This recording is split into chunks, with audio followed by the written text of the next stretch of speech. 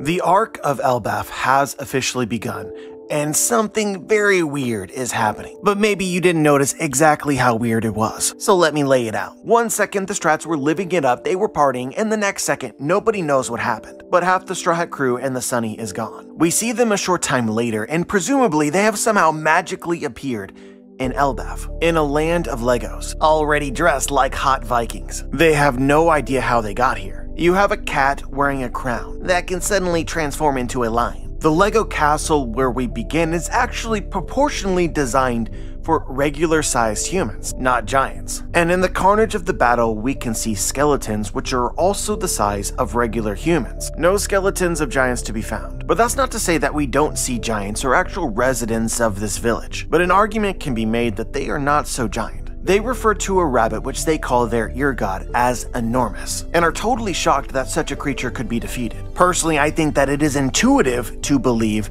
that the ear god is roughly the same size as the cat that the strats fight. I would heavily guess that this cat wearing a crown is some other kind of god, like the claw god as an example. Obviously a very big creature, but nowhere near the size of an actual giant. So if the rabbit is the same, why would the giants refer to it as enormous? And if the rabbit is actually bigger and closer to the size of actual giants, then how the hell did Luffy eat it? Luffy has a big stomach, but that kinda pushes the limits. So it makes you wonder whether the giants that we see are actually the size of humans. Or perhaps the Straw Hats are now suddenly the size of giants. There's also a popular theory going around right now that Oda was more inconsistent while drawing the chapter than he has ever been. Like I'm talking about small mistakes. Luffy's Straw Hat does not appear. Nami has a sword and sheath, but then she doesn't. It basically transforms into her staff. But her staff does not have a hilt. Something similar happens with Luffy where he doesn't have a weapon, then it appears like he has a sword, then suddenly that sword has become an axe, with a totally different handle. So I just want to make this abundantly clear, right? Something weird is happening in the island of Elbaf. I feel like we should legitimately ask the question of what is real and what is not. Our eyes are playing tricks on us, and I have a crazy theory as to why. So strap yourselves in, apply your tinfoil judiciously, remember to subscribe if you're enjoying the content. Let's begin. Hey YouTube, Joy Boy here. So, I would say that my impression of Elbaf right now, which is obviously subject to change if we learn something new, but my impression right now is that it reminds me a lot of a video game. The Land of Legos obviously contributes to this. Basically, all of the strats are playable characters, and you're fiddling with their gear, their loadouts, and the world is glitching. But describing it in this way makes a connection kind of clear, because it makes you think about Egghead. That arc also felt like a video game, not least of which was the actual references to video games, but you have this consistent flavor of illusions, or things that are there aren't really there, or aren't as they appear to be. From food synthesizers to walls that aren't really there but suddenly are actually there to actual holograms, Egghead blurred the line of reality. So I just want you to bear with me for a little while. It'll make sense more as the video continues, but let's just run with this. What if this similarity between Egghead and Elbaf is because Dr. Vegapunk was inspired by Elbaf. I don't think this is the craziest thought I've ever had. Vegapunk is a genius who has designed some of the most incredible things in the One Piece world, but he consistently did this with reference to things that already existed. In Egghead, we see a lot of automata. These little robots look very similar to the very same ones that Enel discovers on the moon and are ancient. Or another thing that Vegapunk was heavily involved in is the recreation of devil fruits. He created an artificial devil fruit. Momonosuke ate this and became a pink dragon, but it was based on the original. Likewise, Dr. Vegapunk tells us that the ancient giant robot was something that he utilized in order to help him invent things such as the Mother Flame. But we don't ever really get an explanation for his interest in holograms. He was even trying to devise a way to physically interact with them. He wanted to make the holograms real to people's usable senses. Maybe that idea is actually based on something. So we know for sure that Dr. Vegapunk has visited the island of Elbaf and that there is a connection there. This is where Ohara's books are stored. So basically what I'm saying guys is that whatever the Strats are experiencing right now, it's possible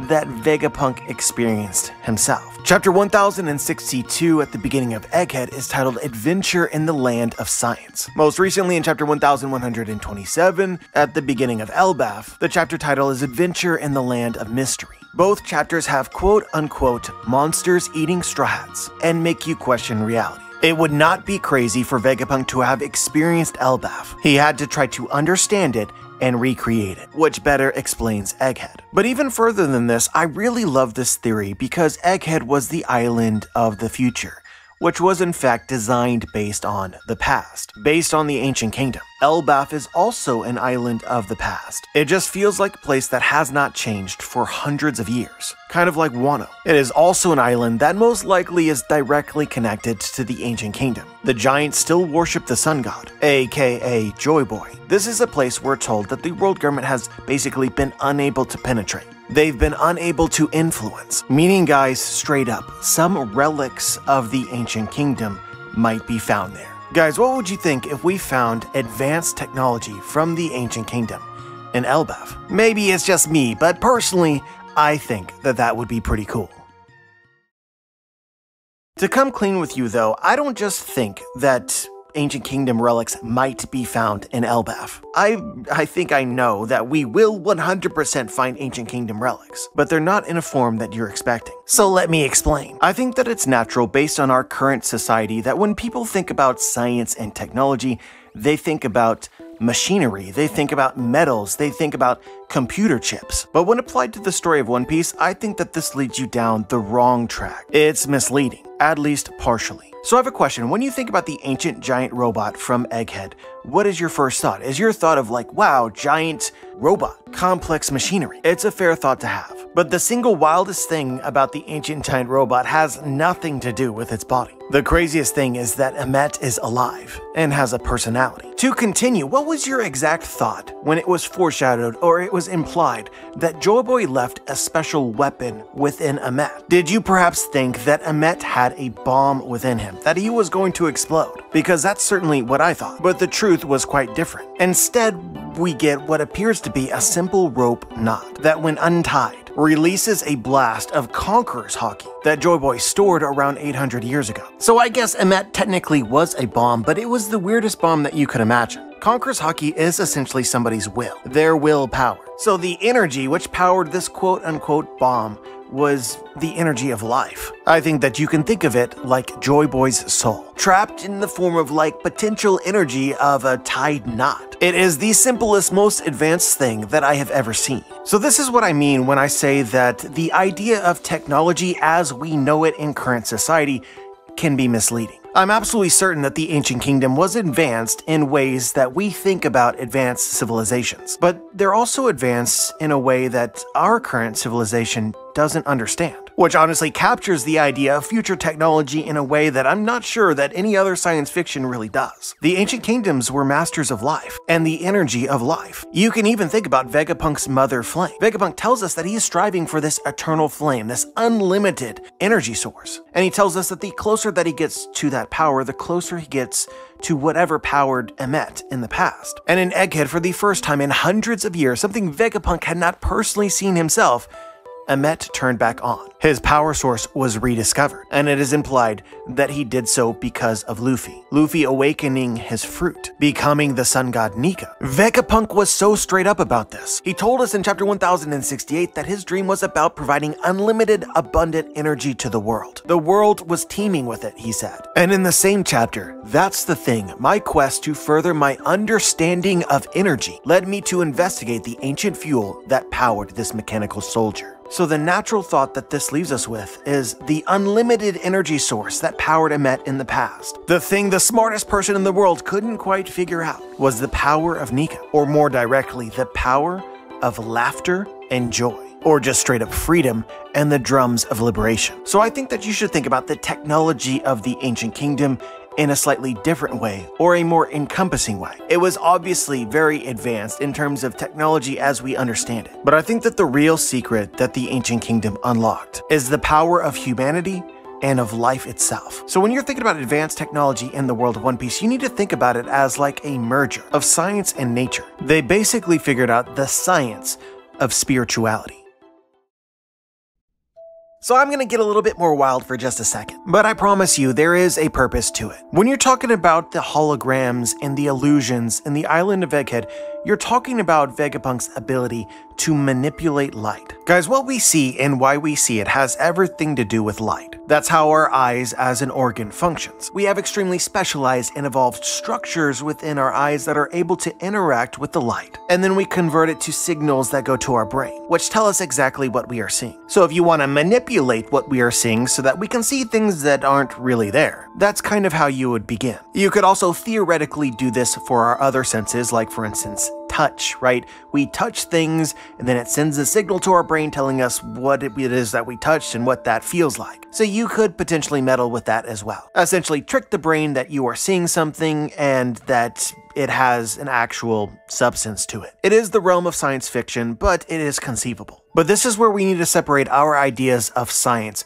from how the story of One Piece works. Light is energy, or more specifically, visible light, which is the light that actually interacts with our eyes, is a very small sliver of the energy of our sun. This is a theory I've discussed a couple times on my channel, but it bears repeating. In the story of One Piece, humanity itself, or the human soul, is also a form of energy or a power source. This is essentially your justification for haki. It's the energy of a person in some kind of usable form that they're able to manipulate. As Imu unintentionally explained, lives are light, and these lights can be erased. This is a direct comparison between lives and energy. I believe that thinking about a person as a flame or as a tiny sun is accurate. I actually think that life is a higher form or a greater form of energy than light itself. It's a superior power source because like I said, visible light is just a small fragment, it's a small sliver of the energy of the sun. But life is much closer to the whole thing, a tiny sun. Or perhaps as a more tangible example if you need it, Kizaru the Light Man was able to shoot lasers which are light beams. Sanji was able to kick it, something that baffled everybody including Kizaru. And Sanji's reasoning for being able to do that is the power of love. Love is greater than light. So through this conversation, I think that what naturally happens is you get a better understanding of the power of the sun god Nika. The sun god Nika is called the sun god Nika because its power is similar to the sun. Everything that exists around us was created inside of a star. A star is essentially everything in energy form. So this is why Nika can do anything, because Nika, similar to the sun, is everything. Everything that exists or could exist. Nika is basically life on steroids. It is the power of an individual soul, amplified many times. So let's finally take this somewhere. We already know that the Giants of Elbaf worship the Sun God. I think that Luffy being Nika is going to become a very important aspect of this arc, but not just in terms of the plot. I'm also thinking about this in terms of the setting. A detail about Elbaf that I think a lot of people forgot was actually revealed to us in Big Mom's flashback. This was where we got to see the island for the very first time. Both the island as in the little village with the giants of Elbaf that we are familiar with, but also a more macro view of the island from afar. Now the first thing that you'll notice about this panel is it's not really reflective of the Elbaf that we've seen with Nami and Luffy and the crew in the most recent chapters. You have this like huge mountain range and a tree which absolutely dominates the island. This tree and the tree Yggdrasil as revealed in the most recent chapter is not the same, clearly. But if you're perceptive, you can notice something in the center of the panel. It's there but intentionally obscured, either too far away to properly see, or in some way invisible, but it looks a lot like a tree. Watching the anime adaptation of this very same panel makes this even clearer. In the anime, it almost appears as if this structure clearly drawn in the center of the manga panel is not there at all. But it is in fact there. They didn't forget to include it. Using effects on the still can bring the structure to life. The effects have determined that something is in fact there but it's totally invisible. This should sound alarms in your head. Something is present on the island of Elbaf which is invisible. Why would something be invisible? Well guys, my answer to this is because of how it interacts with light. This structure, in my opinion, confirms our impression of the beginning of Elbaf. Something has the ability to distort reality, distort our perceptions, and I think that that thing is this invisible tree. Maybe you think that that's absurd, but you really shouldn't. There's already a special tree in the world of One Piece which has an interesting and unique relationship with light. This tree is called the Sunlight Eve tree. Supposedly, it takes in the light from the sun above and then transfers that light to its roots, where it then provides the light to Fishman Island. So I am not speculating that this tree is Sunlight Eve. We already know that that tree exists somewhere in and around Mary Geoise. What I am speculating is that there is another tree in the world of One Piece, a unique tree, which has a relationship with light, or a relationship with the sun. But of course, none of this surprises you, right? Because Luffy is the main character, and Joy Boy was the main character of the Void Century, and both of these people are the Sun God. So I said before that we would find advanced technology on the island of Elbaf, and I was almost certain that that would be the case. But it's a little bit misleading. What I'm talking about is this tree. People often disregard this, they often forget this, but botany is a science. And if you can genetically enhance people, you can definitely genetically enhance plants. But let's explain in more detail. There is, in my opinion, no doubt that Joy Boy was friends with the various races of the One Piece world. If he was a pirate, they were on his crew. Similar to Luffy, actually. One of the ancient weapons of the Ancient Kingdom, a known friend of Joy Boy, is the Mermaid Princess. Poseidon. The fishmen also possessed in the past two poneglyphs. We also see poneglyphs guarded by other races. You have the winged people of Shandora. You also have the minks on Zou. They were charged with protecting Joy Boy's message, meaning they were allies, friends, and potentially on Joy Boy's crew. It is also for this reason and several others that many people expect to find a road poneglyph on the island of Elbaf, historically guarded by the giants. So when you think of the various races in the One Piece world in a historical context, in a Void Century context, you should think that they were probably allied with Joy Boy. So that brings us to the Tontatta. I think that if you think too much about it, when you consider all the highlighted races in the story of One Piece, most people would include Tontatta in that list. But we don't see them guarding a poneglyph. Their connection to the Void Century is not as clear. But if a clue exists, I think that it exists in the small details. In Dressrosa, it is revealed that the Tontatta's greatest strength, their skill, is in the nurturing of plants. If it can be grown, they are the ones that can grow it. And we get firsthand evidence of this in Dressrosa because Doflamingo and Caesar's scheme with Smile was not possible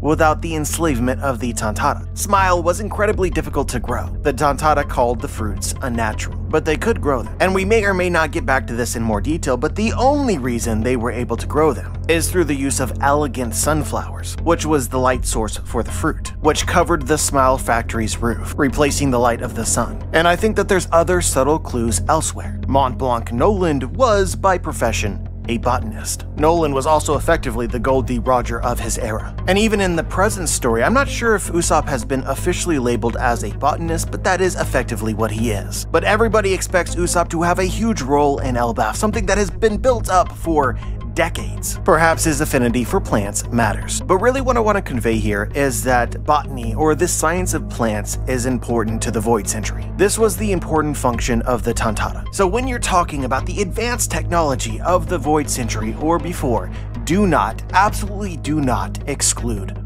plants. I think that everybody basically understands that the trees, the unique trees in the story of One Piece are important, but just logically realize that for some plant to be unique, it probably means that it is not entirely natural. Natural plants proliferate. You see more than one of them. I believe that Yggdrasil was grown by the Tontatta with the assistance of advanced botany, and it possesses special properties, and was made for a reason.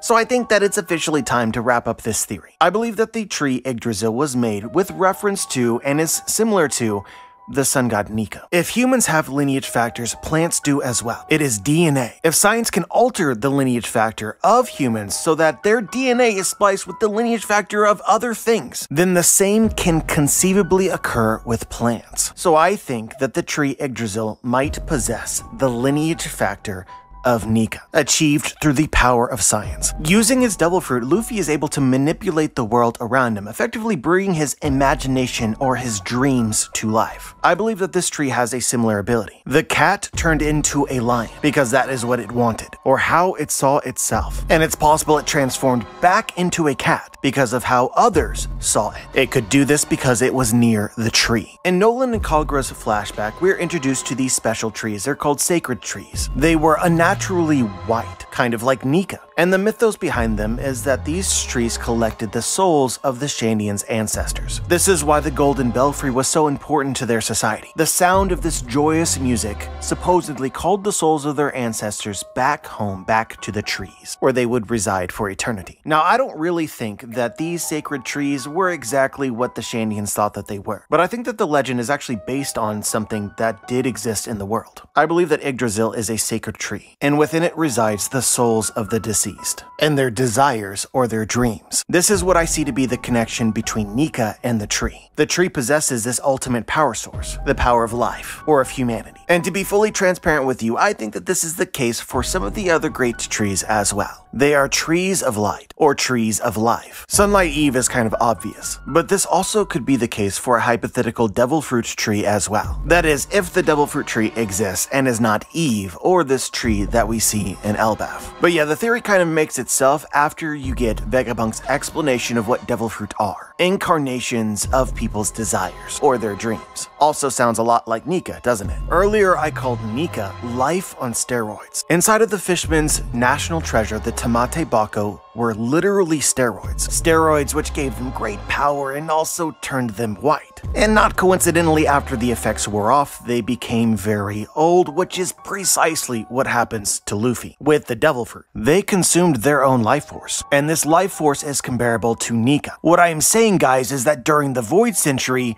the people of the ancient kingdom and Joy Boy manipulated and used the lineage factor of Nika scientifically. You should also be thinking about Mink Sulong. Nika holds the secret to the energy of life, and I personally think similar to the ancestor trees from Shandora. It derives its power from the inherited will. Luffy and Nika is a conduit to the souls of others, including the deceased, and their desires or dreams. But let's get back to Yggdrasil. I think that a pertinent question right now that one might have is, what exactly is the point of this tree? Why did somebody create it? Or why does it exist? And I think that there's a couple ways of looking at it. You could look at it in like a purely simple, Luffy-like way. The island of Elbaf could have been important during the time of the Void Century, if for no other reason than entertainment. It was an island of dreams, of fantasy. I fully expect this going forward, but we've said this on numerous occasions. I will say it again.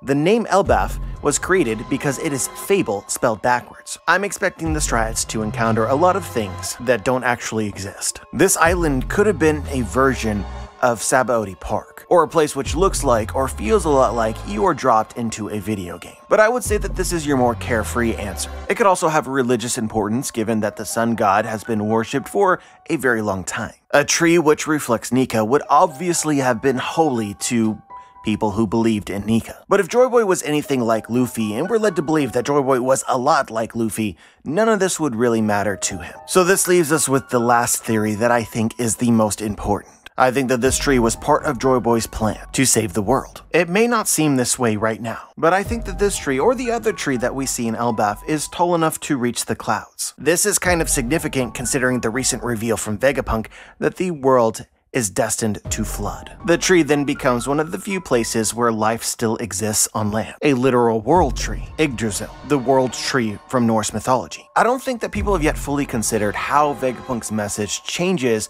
the purpose of something like the Noah. The Noah, which is the ship that features predominantly in the Fishman Island arc, is obviously a reference to the Bible. I want you to keep that in mind.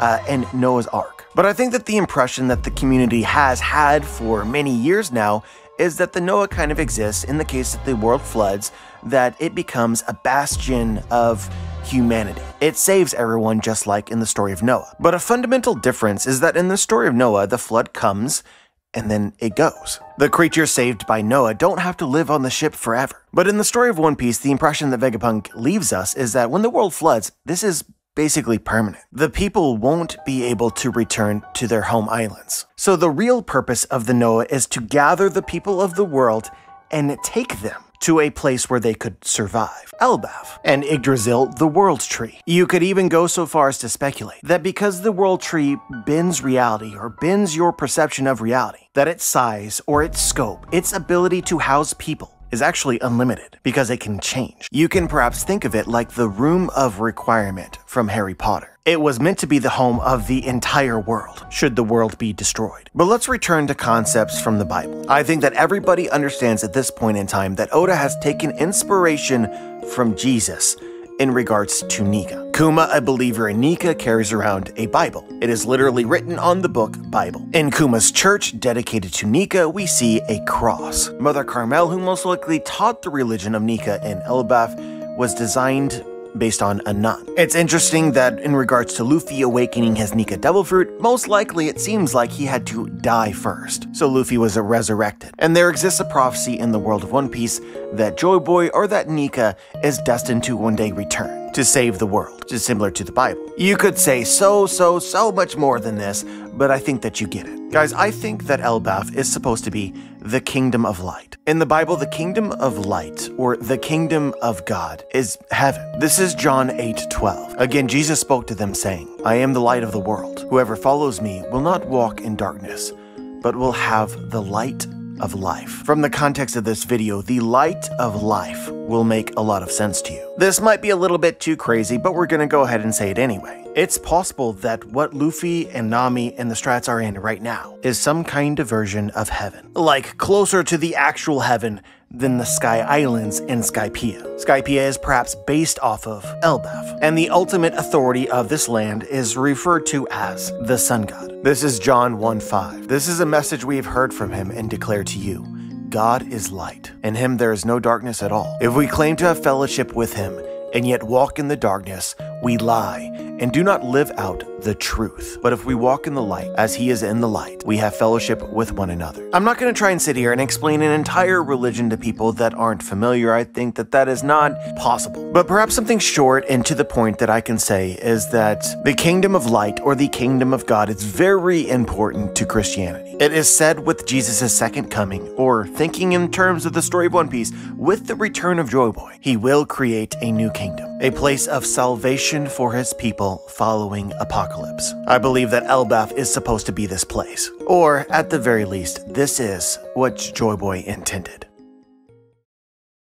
Anyway guys, I really hope that you enjoyed this video. I think maybe we bit off a little bit more than I had intended originally, but all of these thoughts, I, like I can't just share one part of it without all of the context and all the other important things it might relate to. Because it's all of it put together which makes it make the most sense and is the best argument. But just to reiterate and summarize, I think that there's something very strange happening in the country of Elbaf. I think that Reality is being manipulated, and I believe that the tree is actually responsible for this. I believe there to be a connection between Nika and the tree, and it is possible, it is actually possible for the tree to be infused with the lineage factor of Nika. Now, exactly how the tree works, we don't yet know, and I think that there's a high probability that what I've said here is not right or is not entirely right, even if we're correct about the tree. But it's cool to think that the people and creatures here, somehow and some way, are able to bend reality. I think that all of this is fitting given the recent emphasis on Luffy as Nika and Nika as a god, specifically the god of the people of Elbaf. Given the comparisons with Nika and with Jesus, calling Nika a god of light seems accurate. Therefore, it becomes an intuitive thought that this is the kingdom of light from Christianity. It's supposed to be heaven, and that could work well with our assumption that Elbaf will be an arc full of fantasy. It also works well with our assumption that Elbaf might be paralleled with the Sky Islands or connected to them in some way. But at the end of the day, anything that occurs in One Piece has some sort of One Piece scientific explanation, even if that's spiritual in nature. So given comparisons with Egghead, I think that this island needs some kind of power source for it to be doing the things that we're saying that it's doing. And that power source, the same as Nika, is life itself. We are looking at the One Piece Tree of Life, and I think that it is connected to the will of D and the inherited will as a whole. But yeah, guys, had a lot of fun making this, and I hope that what I said is understandable, or at the very least, it makes you think. As always, I'm curious as to what you guys think. If you're interested, check out my book, The Booms. Link is in the description. Like the video, subscribe, click the bell to be notified, join the squad, and as always, guys, have a wonderful